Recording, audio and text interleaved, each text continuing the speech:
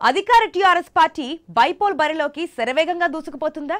ఆ క్రమంలోనే తన అభ్యర్థిని కూడా ఇప్పటికే కన్ఫర్మ్ చేసిందా? ఇక ముందస్తు ఎన్నికల ఆలోచనను గులాబీ బాస్ పక్కన పెట్టినట్లేనా? ఇంతకీ అసంతృప్తులను బుజ్జగించడంలో మంత్రి జగదీష్ రెడ్డి సక్సెస్ అయినట్లేనా? ఇదిలా ఉంటే మునుగోడు గడ్డపై తమ సత్తా చాటేందుకు టీఆర్ఎస్ వేస్తున్న ఎత్తుగడలేంటి? కేసీఆర్ తన సహజత్వానికి భిన్నంగా ఈ ఎన్నికల్లో వ్యవహరించడానికి కారణమేంటి?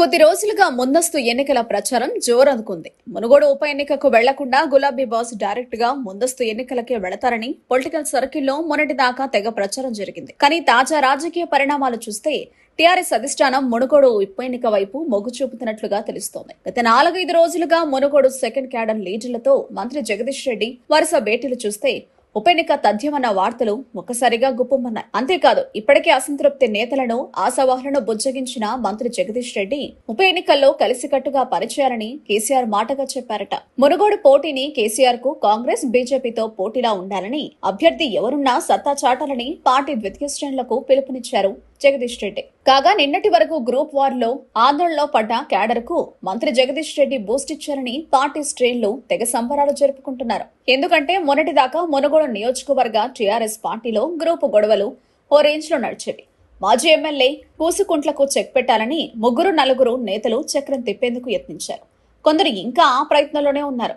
ఆ క్రమంలోనే పార్టీలో బీసీ నినాదం సైతం తెరపైకొచ్చిందనే వాదన వినపడుతోంది. ఈ పరిణామాలతో బైపోల్లో అసంతృప్తి సెగలు అంబరాన్ని తాకుతాయన్న వాదనలు సైతం వెల్లువెత్తుతున్నాయి. దీంతో అధిష్టానం ఏం చేస్తుందోనన్న ఆసక్తి కూడా గులాబీ దండులో కనపడింది. మొదటి నుంచి కేసీఆర్ మంత్రి జగదీష్ రెడ్డి వెంట ఉద్యమంలో నడిచిన బొల్లా శివశంకర్ ఇటీవల కాంగ్రెస్ నుంచి టీఆర్ఎస్లోకి వచ్చిన నారిపోయిన రవి బీసీ ఈక్వేషన్స్తో గట్టి ప్రయత్నాలే చేశారు.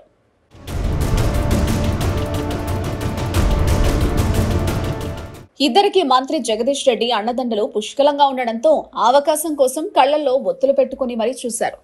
ఇక మిగతా కొంతమందికి సెకండ్ క్యాడర్ నేతలు టికెట్ రేసులో లేకున్నా కూసుకుంట్ల ప్రభాకర్ రెడ్డికి మాత్రం టికెట్ ఇవ్వొద్దని కేసీఆర్కు లేఖ రాశారని సమాచారం. కుదిరితే బొల్లా శివశంకర్ లేదంటే నారబోయిన రవి ఇద్దరిలో ఎవరికో ఒకరికి టికెట్ ఇచ్చినా కలిసి పనిచేస్తామని అల్టిమేటం జారీ చేశారని టాక్ వినిపిస్తోంది.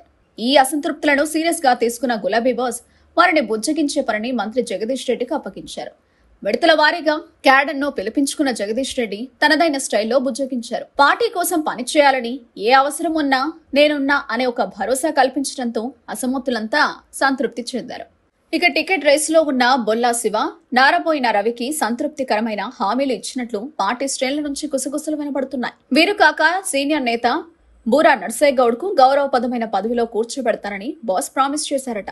ఇక పార్టీ అధిష్టానానికి వ్యతిరేక కార్యకలాపాలకు పాల్పడుతున్న నల్గొండ ఎమ్మెల్యే కంచర్ల భూపాల్ రెడ్డి సోదరుడు కంచర్ల కృష్ణారెడ్డికి ఇంటర్నల్ వార్నింగ్ ఇచ్చారట పెద్దాయన కుటుంబంలో ఇద్దరికి ఎమ్మెల్యే టికెట్లు ఎలా ఇస్తామని కృష్ణారెడ్డిని కాస్త గట్టిగానే మందలించారని సమాచారం. దాంతో ఎక్కడ తమ్ముడి టికెట్ కూడా ఎసురు వస్తుందో అనే భయంతో ఆయన సైలెంట్ అయిపోయారని గుసగుసలు వినిపిస్తున్నాయి. ప్రస్తుతం కృష్ణారెడ్డి టికెట్ అనే ఊసే ఎత్తడం లేదని క్యాడర్ చర్చించుకుంటోంది. మరోవైపు శాసన మండలి హోదాలో ఉన్న గుత్తా సుఖేందర్ రెడ్డి వైఖరిని కూడా తప్పుబట్టారని దీంతో ఆయన సైతం బ్యాక్ అయ్యారని సమాచారం.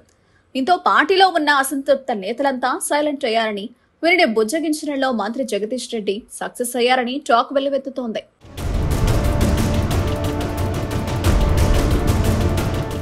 అయితే ఉప ఎన్నిక వ్యూహం ఏంటి?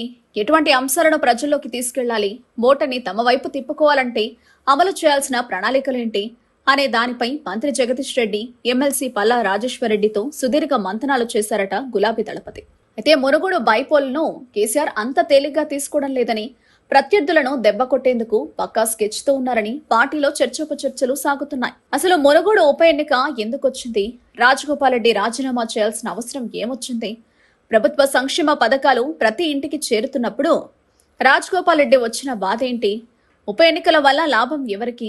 సరిగ్గా ఇవే అంశాలను ముందుగా ప్రజల్లోకి తీసుకెళ్ళాలని ఆ మేరకు ప్రణాళికలు సిద్ధం చేసుకోవడానికి మంత్రి జగదీష్ రెడ్డికి స్పష్టమైన ఆదేశాలు ఇచ్చారట బాస్.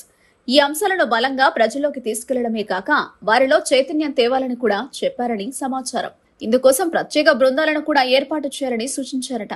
ఇక బాస్ ఆదేశాలతో ఉమ్మడి నల్గొండ జిల్లా కీలక నేతలతో పాటు మండలాల వారీగా గులాబీ దళంతో కోఆర్డినేషన్ చేసుకుంటూ ప్రజల్లోకి వెళ్ళే వ్యూహాలకు పదును పెడుతున్నారట మంత్రి జగదీష్ రెడ్డి.